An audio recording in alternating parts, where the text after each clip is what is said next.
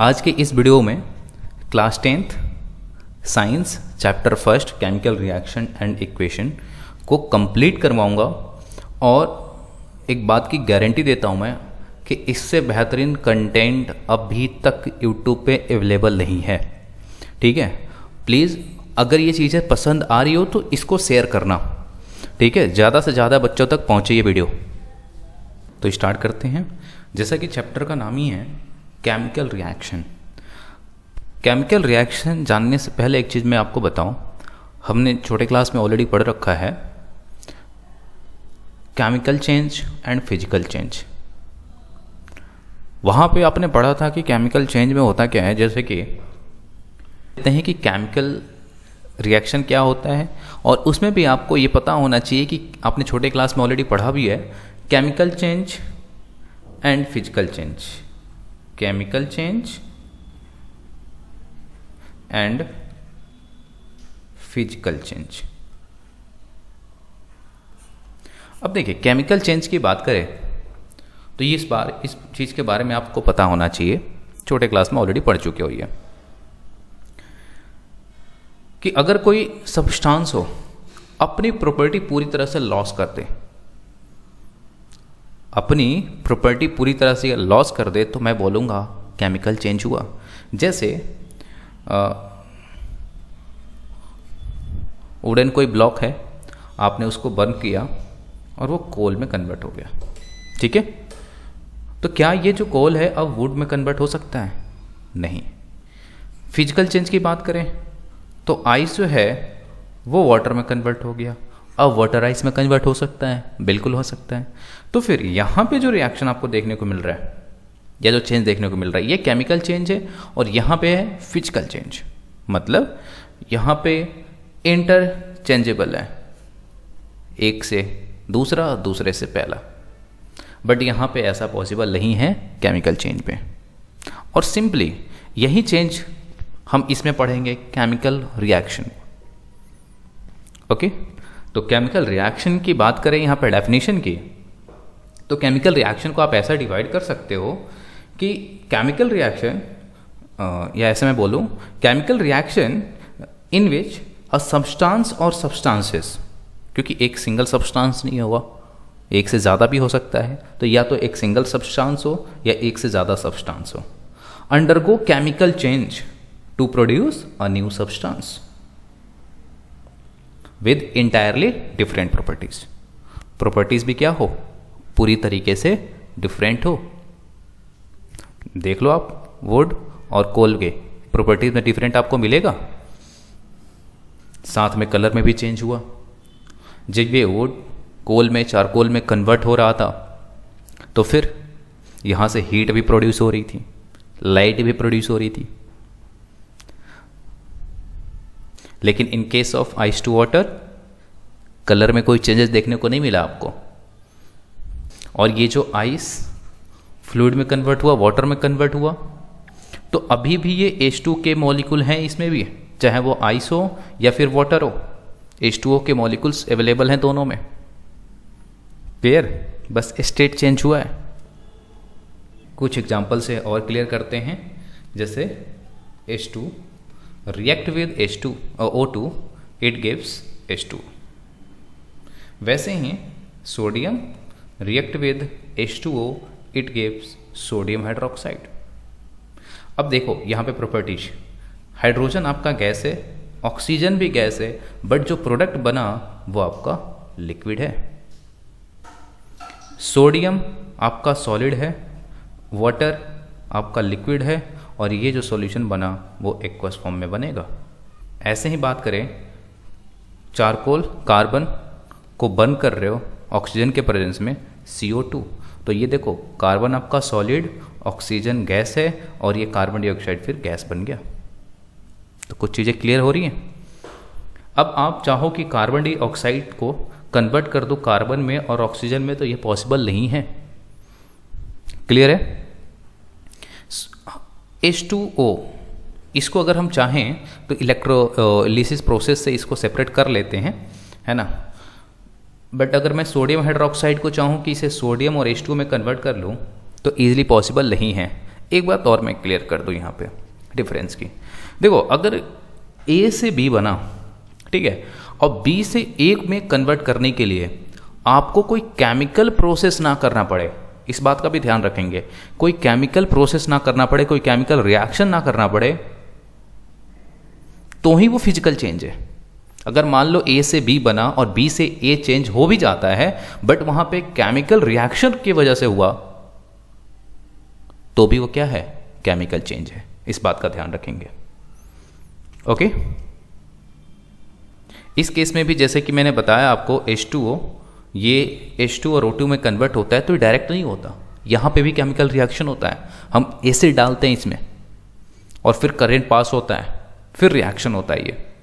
तो इस तरह से आपने देखा कि केमिकल रिएक्शन क्या होते हैं और उसके कुछ एग्जाम्पल्स अब बात कर लेते हैं कि किसी भी केमिकल इक्वेशन में दो पार्ट होते हैं। एक रिएक्टेंट और एक प्रोडक्ट रिएक्टेंट स्पीसीज होते हैं जो रिएक्शन में पार्टिसिपेट करते हैं। प्रोडक्ट होता है आफ्टर रिएक्शन जो फॉर्म हो। क्लियर कहने का मतलब यहाँ पे जो आपका H2 है और O2 है, ये रिएक्टेंट है। और जो वो H2O है, ये आपका प्रोडक्ट है। वैसे ही सोडियम और H2O ये आपके रिएक्टेंट है और ये आपका प्रोडक्ट है सोडियम हाइड्रोक्साइड ऐसे ही कार्बन और ऑक्सीजन रिएक्टेंट है और कार्बन डाइऑक्साइड आपका प्रोडक्ट है। अब सवाल ये कि रिएक्शन केमिकल है जो चेंज हो रहा है वो केमिकल चेंज है या फ़िज़िकल चेंज है, ये कैसे पता करें? तो देखो, इसके कुछ ऑब्जर्वेशन हैं। वो देखने को अगर मिलता है तो मतलब वो केमिकल चेंज है केमिकल रिएक्शन है अदरवाइज़ वो फ़िज़िकल रिएक्शन है फ़िज़िकल चेंज है। ओके तो सबसे पहले मैं लिख देता हूँ how to check chemical change ठीक है? या फिर हम किसी केमिकल रिएक्शन को कैसे आइडेंटिफाई करें? तो जो सबसे पहला आपको ऑब्जर्वेशन देखने को मिलेगा चेंज इन स्टेट ये दोनों में होता है, ठीक है? तो इससे क्लियर नहीं कर पाओगे, है ना? बट ये दोनों में होगा, क्योंकि फ़िज़िकल में भी और केमिकल में भी। Second evolution of gas evolution of gas तो ये सबसे इंपॉर्टेंट है और सबसे इजी वे है किसी केमिकल रिएक्शन को आइडेंटिफाई करने का कि अगर वहाँ से गैस का इवोल्यूशन हो रहा है, कोई नया गैस मिल रहा है ऑप्टेन हो रहा है उस रिएक्शन में तो मैं बोलूँगा कि वो एक केमिकल रिएक्शन है। फ़िज़िकल में ऐसा नहीं होता, ये बात ध्यान रखेंगे। गैस का इवोल्यूशन फ़िज़िकल में नहीं होता बट केमिकल में होता है। चेंज इन स्टेट की बात करें तो फिर आप धोखा खा जाओगे। क्योंकि जब आइस जो है फ्लूड में लिक्विड में कन्वर्ट हुआ तो स्टेट ही तो चेंज हुआ। बट क्या उसे हम केमिकल चेंज बोलेंगे क्या? नहीं, वो फ़िज़िकल चेंज है। तो केवल चेंज इन स्टेट के बेसिस पे हम किसी केमिकल चेंज और फ़िज़िकल चेंज में डिफ्रेंशिएट पैदा नहीं कर सकते। Clear next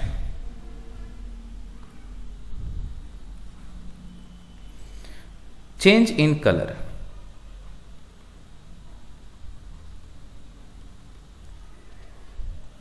And fourth, change in temperature. अब चारों में मुझसे ये पूछा जाए कि सबसे बेसिक ऑब्जर्वेशन बताओ, कौन सा है? तो ये दोनों हैं। Change evolution of gas and change in colour बात करें चेंज इन टेम्परेचर का तो ये फ़िज़िकल में भी होता है। फ़िज़िकल में भी होता है ये ऑब्जर्वेशन आपको देखने को मिलेगा। जैसे कि आ, आपका आइस वाटर में कन्वर्ट हुआ तो आफ्टर सम टाइम उसका टेम्परेचर भी चेंज होगा। क्लियर है? तो वो फ़िज़िकल चेंज में भी ये चीज़ देखने को मिल जाती हैं बट आपके ये दो इवोल्यूशन ऑफ़ गैस और चेंज इन कलर ये आपको देखने को नहीं मिलेगा इसमें फ़िज़िकल चेंज में। एक और मैं नोट कर देता हूँ। वैसे एनसीईआरटी में लिखा नहीं है ये ऑब्जर्वेशन के पॉइंट में but formation of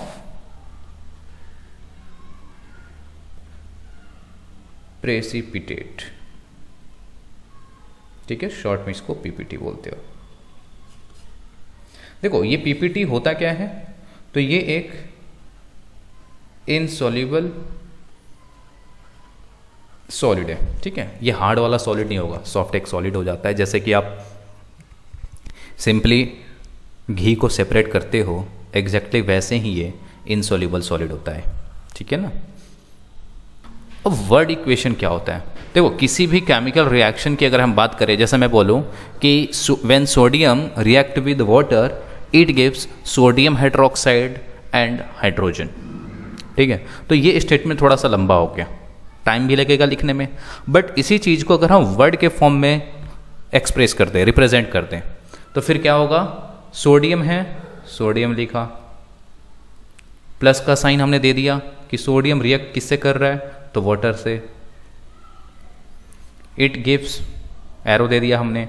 Sodium hydroxide and hydrogen gas ठीक है? यानी किसी केमिकल रिएक्शन को अगर वर्ड के फॉर्म में एक्सप्रेस कर दे सिंपली इसी को बोलते हैं वर्ड इक्वेशन क्लियर नेक्स्ट आपका केमिकल इक्वेशन क्या है? तो देखो केमिकल इक्वेशन जो है एक सिंबॉलिक रिप्रेजेंटेशन है.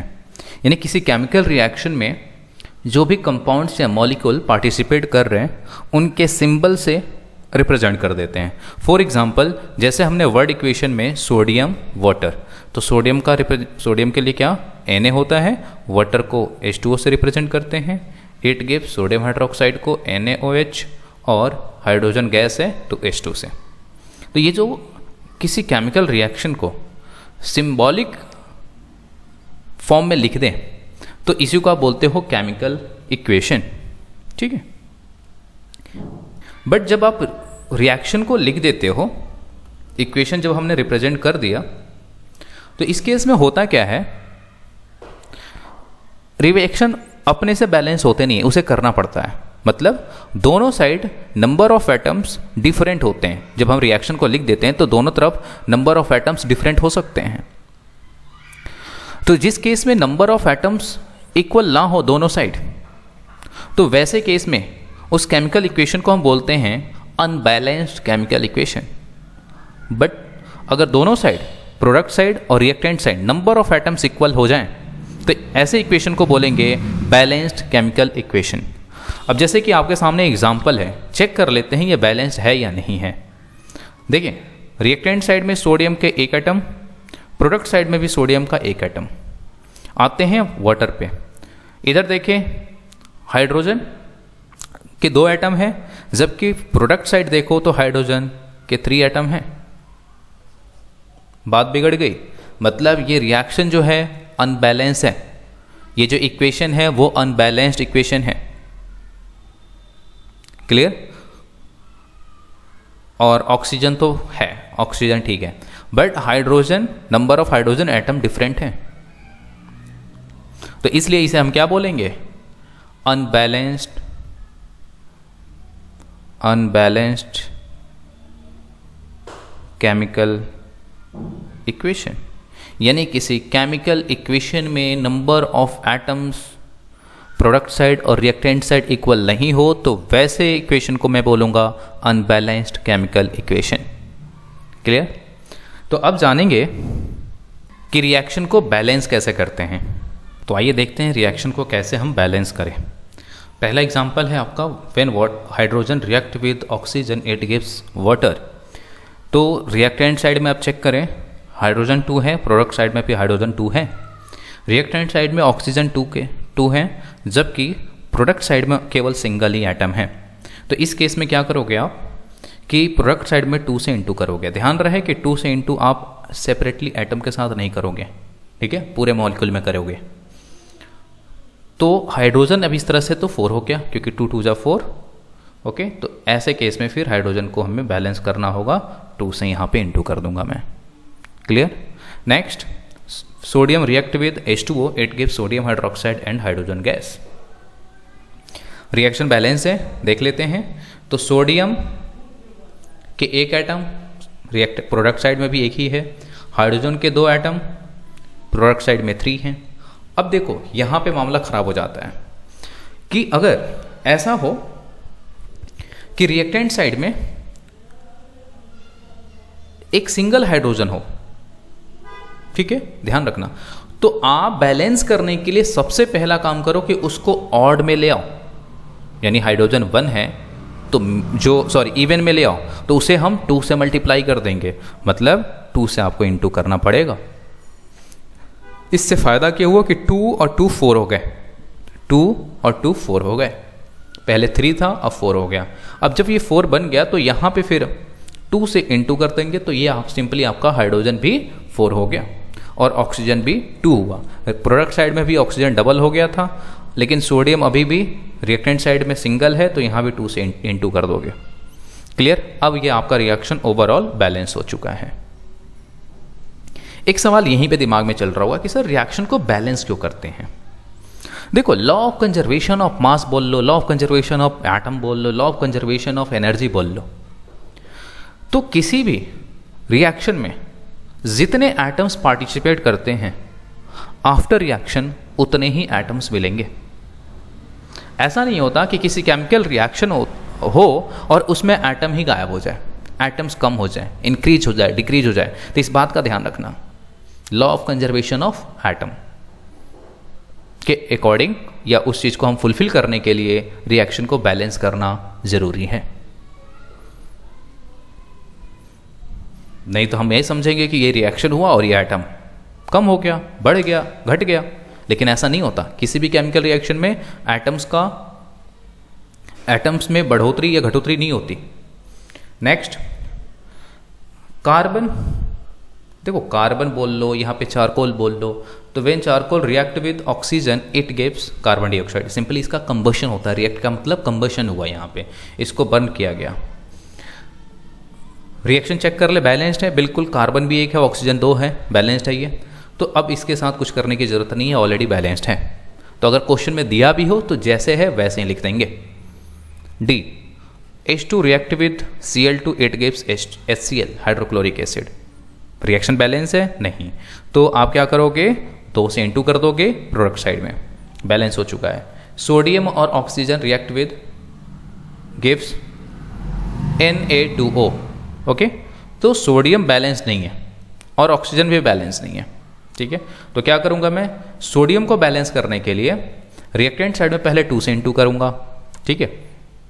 लेकिन अब ऑक्सीजन बैलेंस नहीं हो पाया प्रोडक्ट साइड में तो फिर टू से इधर इंटू करूँगा. बट अब सोडियम जो हो गया, वो हो गया फोर तो इसलिए फाइनली अब आप फोर से इंटू कर दोगे सोडियम में। अब ये रिएक्शन हो चुका है बैलेंस नेक्स्ट है ammonia react with H C L ammonia react with H C L it forms N H four C L ammonium chloride okay reaction check कर ले बैलेंस है. तो नाइट्रोजन एक है नाइट्रोजन एक है. हाइड्रोजन फोर है. इधर भी हाइड्रोजन फोर है. क्लोरीन का एक एटम क्लोरीन का एक एटम तो ये रिएक्शन भी ऑलरेडी बैलेंस है, इसे बैलेंस करने की कोई ज़रूरत नहीं है. बढ़ते हैं अगले क्वेश्चन पे. नेक्स्ट क्वेश्चन हमारा calcium oxide H two O it gives calcium hydroxide calcium एक है कैल्शियम भी एक है प्रोडक्ट साइड भी. ऑक्सीजन चेक कर ले तो ऑक्सीजन टू है. प्रोडक्ट साइड में भी ऑक्सीजन टू है, ठीक है ना? ये. हाइड्रोजन टू है हाइड्रोजन यहाँ भी टू है. तो ये भी रिएक्शन ऑलरेडी बैलेंस है. Next copper react with oxygen copper oxide form कर लिया। और ऑक्सीजन यहाँ पे बैलेंस नहीं है। तो क्या करोगे? ऑक्सीजन को बैलेंस करने के लिए टू से इंटू मुझे यहाँ करना पड़ेगा। फिर कॉपर को बैलेंस करने के लिए मेरे को रिएक्टेंट वाले कॉपर में टू से इंटू करना पड़ेगा। Next C H four O two methane react with O two देखो, यहाँ पे मिथेन हो, है ना? इथेन हो प्रोपेन हो, यानी जो हाइड्रोकार्बन होंगे, इनका कंबशन होगा। तो ये कार्बन डाइऑक्साइड और एच रिलीज़ करेंगे। हमेशा ध्यान रखना। चाहे वो तीन कार्बन का हो, चार कार्बन का हो, पाँच कार पाँच कार्बन का हो, ये हमेशा सी और एच ही देंगे। क्लियर तो कार्बन पहले बैलेंस कर लिया जाए तो कार्बन देखा, एक है। बात करें ऑक्सीजन की ऑक्सीजन दो। नहीं, लेकिन ऑक्सीजन इधर थ्री हो गया। तो जैसा कि मैंने अभी थोड़ी देर पहले आपको बताया कि जब इस तरह से दिखे ऑड में आ रहा हो तो इसको इवन बना लो। टू से इंटू कर लो, सिंपल। तो अब यहाँ से हाइड्रोजन हो गया आपका फोर और ऑक्सीजन आ गया फोर। अब देखो ओवरऑल रिएक्शन बैलेंस हो चुका है। जे C six H twelve O six react with O two it gives C O two and H two O यहाँ पर भी रिएक्शन को बैलेंस कर लेते हैं। तो ऑक्सीजन आपका एट है, ठीक है? और दूसरे साइड देखो तो ऑक्सीजन आपका है कितना? थ्री मैंने बोला और से इवन कर लो। ठीक है? तो क्या करूँगा मैं? सिक्स से अगर इंटू कर लूँ सिक्स से तो ऑक्सीजन आपका डायरेक्टली एट हो जाएगा। लेकिन हाइड्रोजन ट्वेल्व हुआ तो हाइड्रोजन भी ट्वेल्व है बैलेंस तो है टेंशन नहीं लेना। फिर कार्बन जो है, वो सिक्स हो गया। तो फिर कार्बन को यहाँ पे सी में सिक्स से इंटू करना पड़ेगा। इससे क्या हुआ अब? देखिए, अब कार्बन 18 हो गया, है ना? 18 हो गया। सिक्स टू जा ट्वेल्व और एटीन तो अब क्या करोगे आप? सिक्स था ही सिक्स से यहाँ पे इंटू कर दोगे। देख लो अब रिएक्शन बैलेंस है। बात करें टाइप्स ऑफ़ केमिकल रिएक्शन की। पहला, आपका है कॉम्बिनेशन रिएक्शन नाम से ही क्लियर है कि कुछ कंबाइन होना, ठीक है? तो केमिकल रिएक्शन है तो यहाँ पे क्या कंबाइन होंगे? एटम्स या मॉलिक्यूल्स आपस में कंबाइन होकर के नए स्पीसीज को जन्म देंगे, ठीक है? तो अभी जितने भी हमने प्रीवियस एग्जाम्पल्स लिए थे, वो सारे के सारे आपके कॉम्बिनेशन थे। ठीक है? जिसमें एक से ज़्यादा प्रोडक्ट बन रहे थे, उसे कॉम्बिनेशन के अंदर हम कंसिडर नहीं करते हैं। बट जहाँ पे दो या दो से ज़्यादा सब्सटेंस आपस में कंबाइन होकर के अगर एक सिंगल प्रोडक्ट को दे रहे हैं मतलब वो कॉम्बिनेशन रिएक्शन है। ठीक है? तो आप इसको कैसे डिफाइन कर सकते हो? कॉम्बिनेशन रिएक्शन को। A reaction in which two or more reactants combine to form a single product is called combination reaction for example जैसे मैंने बताया था आपको हाइड्रोजन और नाइट्रोजन यानी H2 और N2 आपस में कंबाइन होकर के अमोनिया देते थे, ठीक है? ऐसे ही था आपका copper react with oxygen it gives copper oxide वैसे ही calcium oxide react with H2O it gives calcium hydroxide तो ये जितने भी एग्ज़ाम्पल हैं, ये आपके कॉम्बिनेशन रिएक्शन के एग्ज़ाम्पल हैं। एक बात आपको बता दूँ मैं, जब कोई भी केमिकल रिएक्शन होता है तो वहाँ पे दो बातें बहुत इंपॉर्टेंट हैं। या तो वहाँ से एनर्जी रिलीज़ होती हैं, या फिर उसे एनर्जी प्रोवाइड की जाती है। डेफिनेटली ये दो चीज़ें होने वाली हैं। तो जिस केमिकल रिएक्शन में एनर्जी बाहर निकले, अब एनर्जी बाहर निकलने का मतलब क्या है? हीट बाहर निकले हीट का इवोल्यूशन हो। तो ऐसे रिएक्शन को, ऐसे केमिकल रिएक्शन को एक्जोथर्मिक रिएक्शन बोलते हैं, जहाँ पे एनर्जी एग्जिट करे। और जिस केस में एनर्जी एंटर करे एनर्जी प्रोवाइड की जाए रिएक्शन को करवाने के लिए, ऐसे रिएक्शन को हम बोलते हैं एंडोथर्मिक रिएक्शन क्लियर अब बात करें इस कैल्शियम ऑक्साइड और वाटर के रिएक्शन की। जब ये आपस में कंबाइन होते हैं तो कैल्शियम हाइड्रोक्साइड तो बनता ही है साथ में। ह्यूज अमाउंट में हीट भी बाहर निकलता है। ठीक है? तो इस रिएक्शन को क्या बोलेंगे? एक्जोथर्मिक रिएक्शन अब आपसे क्वेश्चन होगा मेरा। C H four react with ये इसका कंबशन कर रहे हैं रिएक्ट विद ऑक्सीजन बोल रहा हूँ मतलब इसका कंबशन हो रहा है। तो ये carbon dioxide H two produce करता है। ये आपका सिंपली मिथेन है। ओके मिथेन का रिएक्शन हुआ ऑक्सीजन के साथ। एक बात मैं आपको बता दूँ यहाँ पे, ये भी डाउट हो सकता है। जैसे मान लो, आपने चारकोल को जलाया, ठीक है? वो ऐसे तो जलेगा नहीं, ऐसा नहीं है कि चारकोल है किरोसिन उस पर डाल दिया जलना शुरू कर देगा। ऐसा तो नहीं होगा ना? उस रिएक्शन को करवाने के लिए आपको शुरू में इनिशियली आपको एनर्जी प्रोवाइड करनी ही पड़ेगी। आपने स्टार्टिंग में करवाया। कंटिन्यू आप उस एनर्जी को दे नहीं रहे थे। एक बार आपने उसमें आग लगा दी और वो रिएक्शन हो जा रहा है। अब हो रहा है, जल रहा है कंबशन हो रहा है तो वहाँ से हीट गैस एनर्जी बाहर निकल रही है। तो वो भी एक एक्जोथर्मिक रिएक्शन है। तो इस बात का ध्यान रखना कि किसी भी केमिकल रिएक्शन में अगर आप कंटिन्यू एनर्जी सप्लाई कर रहे हो तो फिर वो एंडोथर्मिक ही है। लेकिन अगर रिएक्शन को आपने प्रोसीड करवा दिया और वो रिएक्शन अब हो जा रहा है तो फिर उस केस में आप एक्जोथर्मिक बोलोगे। शायद मेरी बात क्लियर है। ठीक है? यानी किसी केमिकल रिएक्शन को स्टार्ट करने के लिए अगर आप एनर्जी दिए हो तो उससे ये डिसाइड नहीं करोगे कि वो एक्जोथर्मिक है या एंडोथर्मिक है। अब उसके बाद से, क्या उसे कंटिन्यू एनर्जी सप्लाई की जा रही है या नहीं? अगर एनर्जी कंटिन्यू सप्लाई की जा रही है, इसका मतलब वो एंडोथर्मिक रिएक्शन है। और इनिशियली आपने एनर्जी प्रोवाइड कर दी और उस एनर्जी और और जिस एनर्जी को आपने प्रोवाइड करे उसे अलग कर दो आप। अब वो खुद एनर्जी अगर प्रोड्यूस कर रहे है तो मैं बोलूँगा कि वो एक्सोथर्मिक रिएक्शन है। ठीक है? आपका जो रेस्पिरेशन प्रोसेस है, ये भी एक्जोथर्मिक प्रोसेस है। क्योंकि इस प्रोसेस से हमारी बॉडी को एनर्जी मिलती है। क्योंकि हम फ़ूड जो लेते हैं, उसको डाइजेशन करती है, हमारी बॉडी डाइजेस्ट करती है, और फिर वहाँ से एनर्जी मिलती है। तो इस प्रोसेस को ही रेस्पिरेशन बोलते हैं। तो फाइनली रेस्पिरेशन एक एक्जोथर्मिक प्रोसेस है। सेकेंड है हमारा decomposition reaction decomposition reaction बात करें इस रिएक्शन की तो ये बिल्कुल अपोजिट होता है किसका? कॉम्बिनेशन रिएक्शन का। यानी कॉम्बिनेशन रिएक्शन में क्या हुआ? दो सब्सटेंस आपस में कंबाइन होकर के एक सिंगल प्रोडक्ट को फॉर्म कर रहे थे, जबकि इस केस में एक सिंगल सब्सटेंस कन्वर्ट होकर के दो या दो से ज़्यादा प्रोडक्ट देगा। या दो या दो से ज़्यादा सब्सटेंस में कन्वर्ट हो जाए। तो ये एक दूसरे के रिवर्स है या नहीं है? ठीक है, अब इसके एग्ज़ाम्पल देखते हैं। इसका एग्ज़ाम्पल बताओ, इससे पहले हम ये भी जान लेते हैं कि डिकम्पोजिशन होने के लिए क्या क्या ज़रूरी है। क्या क्या प्रोवाइड करना पड़ता है। तो देखो डिकम्पोजिशन कई तरीके से होते हैं। डिकम्पोज करने के लिए बात तो ध्यान रखना पड़ेगा ना कि तोड़ रहे हो आप किसी चीज़ को। आपको एनर्जी सप्लाई करनी पड़ेगी।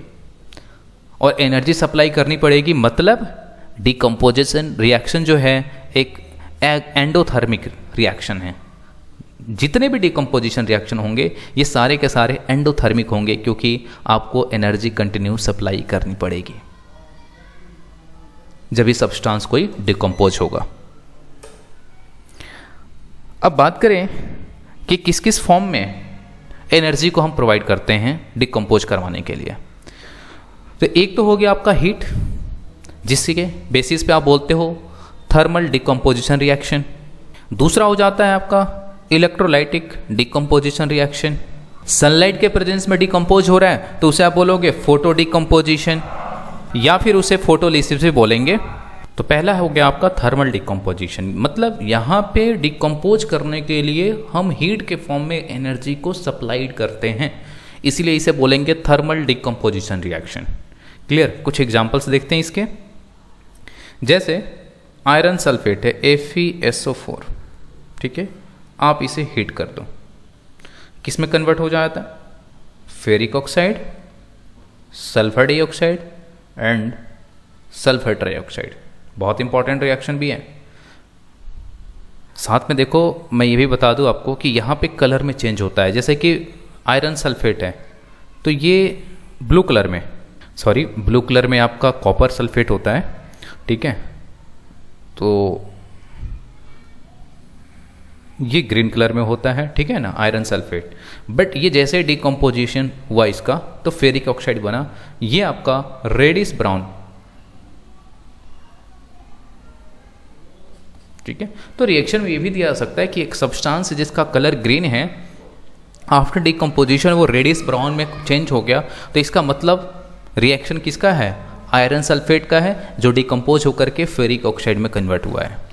क्लियर नेक्स्ट है आपका इलेक्ट्रोलाइटिक डिकम्पोजिशन रिएक्शन मतलब कि यहाँ पे डिकम्पोज करने के लिए जो एनर्जी सप्लाइड की जा रही है वो इलेक्ट्रिसिटी के फॉर्म में।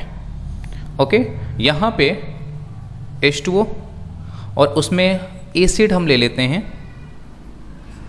और इलेक्ट्रिसिटी पास करवा देते हैं ना करंट तो ये जो H2O है डिकम्पोज होकर के H2 और O2 में कन्वर्ट हो जाता है।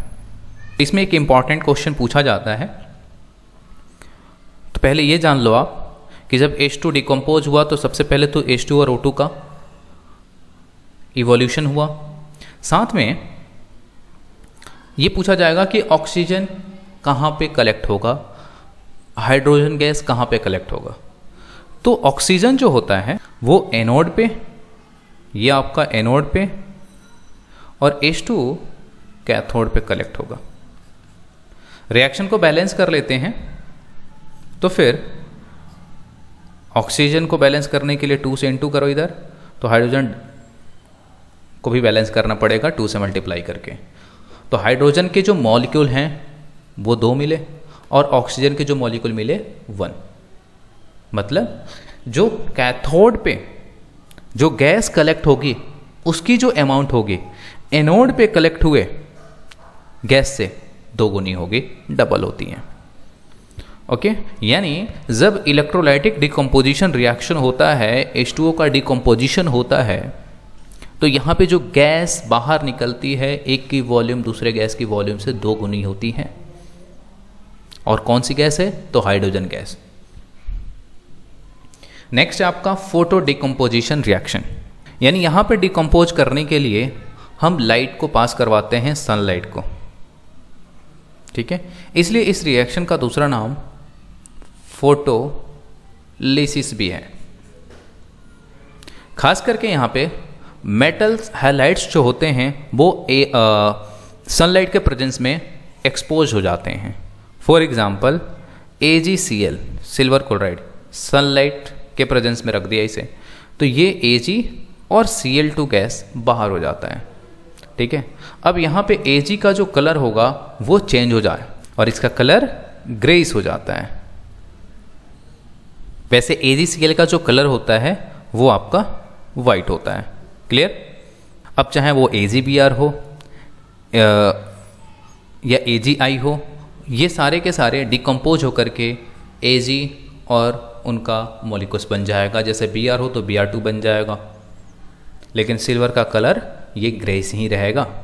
बात करें डिस्प्लेसमेंट रिएक्शन की। Next reaction displacement reaction displacement नाम से क्लियर है कि किसी चीज़ को डिस्प्लेस किया जा रहा है। मतलब पहले से कोई था प्रेजेंट है, उसको किसी और के द्वारा रिप्लेस कर दिया गया। अब देखो एग्ज़ाम्पल जैसे एफी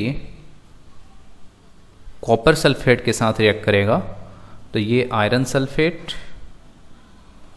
एंड ये कॉपर जो होगा सेपरेट हो गया। तो सिंपली आपको दिख रहा है कि किसको डिस्प्लेस किया गया? कॉपर को किसके द्वारा? आयरन के द्वारा। इसके पीछे का रीजन क्या है? इसके पीछे का रीजन ये है कि आयरन की जो रिएक्टिविटी होती है, वो कॉपर से ज़्यादा है।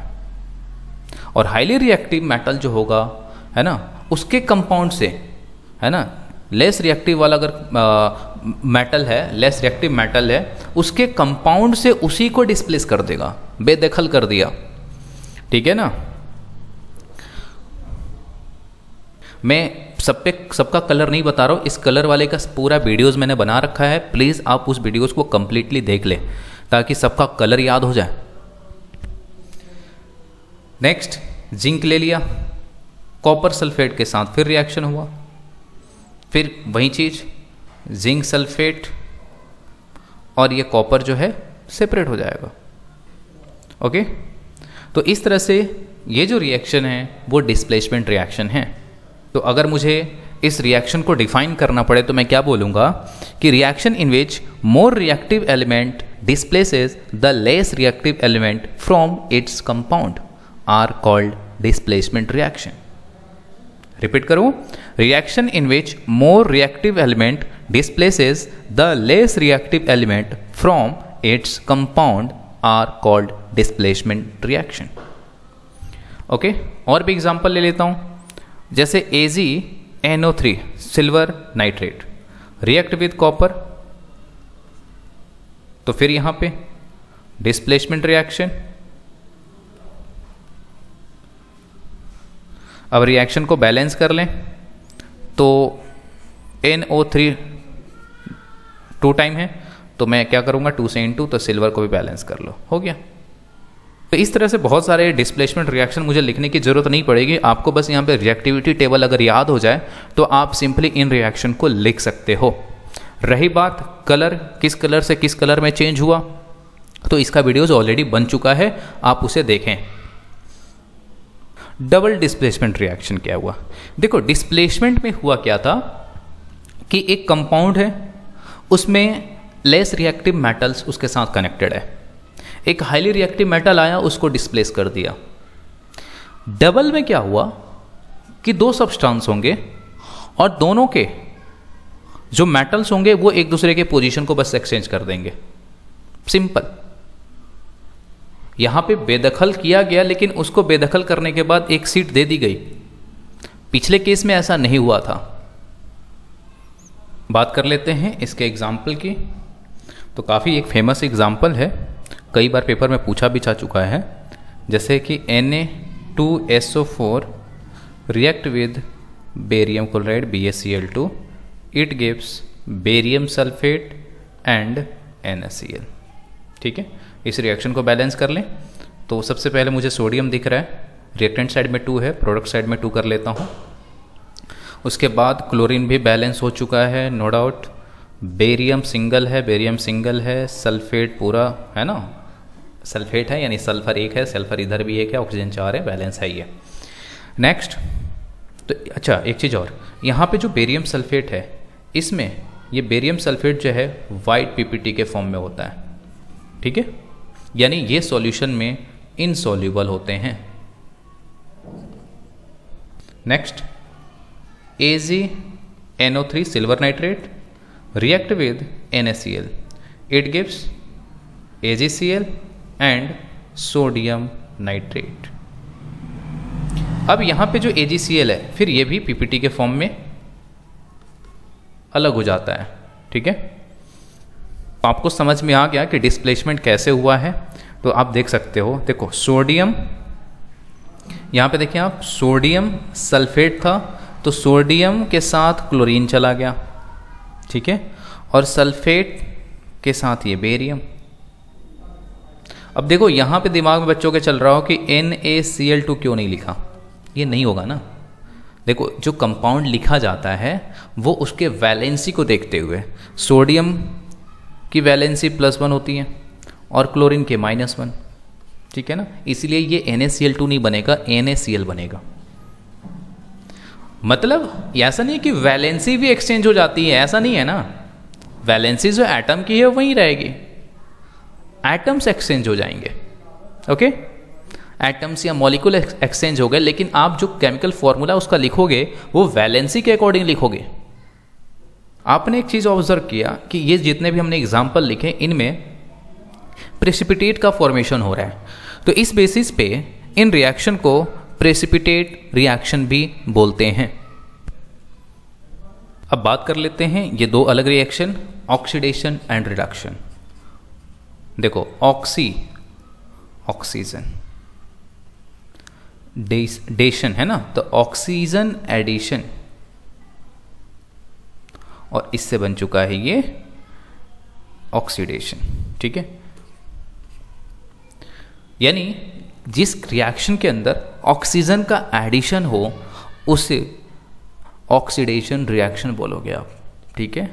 रिडक्शन तो रिडक्शन मतलब ऑक्सीजन का रिडक्शन हो गया।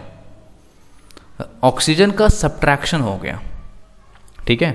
तो ऑक्सीजन सब्ट्रैक्शन तो ये हो जाएगा आपका रिडक्शन यानी जहाँ से ऑक्सीजन का रिमूवल हो जिस रिएक्शंस में ऑक्सीजन का रिमूवल हो, वो आपका रिडक्शन है और जिसमें ऑक्सीजन का एडिशन हो, वो ऑक्सीडेशन है. क्लियर साथ ही अगर हाइड्रोजन के रिस्पेक्ट में बोलेंगे तो ये बिल्कुल बात पलट जाएगी. यानी जिस रिएक्शन में हाइड्रोजन का एडिशन हो, वो रिडक्शन है. जिस रिएक्शन में हाइड्रोजन का एडिशन हो, वो रिडक्शन है. यानी मैं बोल सकता हूँ कि इस केस में H जुड़ेगा और ऑक्सीजन हटेगा। इस केस में हम बात करें तो ऑक्सीजन ऐड होगा और हाइड्रोजन रिमूव होगा। क्लियर कुछ एग्ज़ाम्पल से भी समझ लेते हैं। For example copper react with oxygen form copper oxide तो एडिशन ऑफ़ ऑक्सीजन हुआ। तो इसलिए इसे क्या बोलोगे? ऑक्सीडेशन और एग्ज़ाम्पल ले लेता हूँ। जैसे H2S हाइड्रोजन सल्फाइड। जब ऑक्सीजन के साथ रिएक्ट किया तो सल्फ़र और H2O अब यहाँ पे सवाल खड़ा हो जाएगा, क्या? कि सल्फ़र अलग हुआ H2O बना। तो यहाँ पे एक बात समझने की होगी, कि जिसके साथ जिसके साथ ऑक्सीजन जुड़ा, उसका हुआ ऑक्सीडेशन और जिससे ऑक्सीजन अलग हुआ, उसका हुआ रिडक्शन फाइनली इस रिएक्शन में दोनों चीज़ें हो रही हैं। कैसे? तो देखो। H2S से हाइड्रोजन हटा है। देख सकते हो। यानी इसे आप बोलोगे, यहाँ पे हुआ किसका? हाइड्रोजन सल्फाइड का ऑक्सीडेशन ठीक है? नेक्स्ट O2 O2 था। ऑक्सीजन के साथ हाइड्रोजन का एडिशन हुआ। तो फाइनली यहाँ पे क्या हुआ? रिडक्शन मेरी बात समझ पा रहे हो ना? आपको प्रोडक्ट साइड से नहीं देखना, आपको रिएक्टेंट साइड से नहीं देखना। मतलब कि ऑक्सीजन के साथ हाइड्रोजन जुड़ा ऑक्सीजन का हुआ रिडक्शन किसका रिडक्शन हुआ? ऑक्सीजन का वाटर का नहीं। फिर H2S के से हाइड्रोजन हटा, यानी किसका ऑक्सीडेशन हुआ? तो हाइड्रोजन सल्फाइड का ऑक्सीडेशन हुआ, ये जवाब दोगे। ऐसे नहीं बोलोगे कि सल्फ़र का ऑक्सीडेशन हुआ। और जिस रिएक्शन के अंदर ये दोनों हो ऑक्सीडेशन और रिडक्शन ऐसे रिएक्शन को बोलते हैं redox reaction R E D reduction reaction और ओ एक्स ऑक्सीडेशन रिएक्शन दोनों कंबाइन कर दें तो रेडॉक्स रिएक्शन यानी जिस रिएक्शन के अंदर ऑक्सीडेशन और रिडक्शन दोनों हो, वैसे रिएक्शन को आप रेडॉक्स रिएक्शन बोलोगे.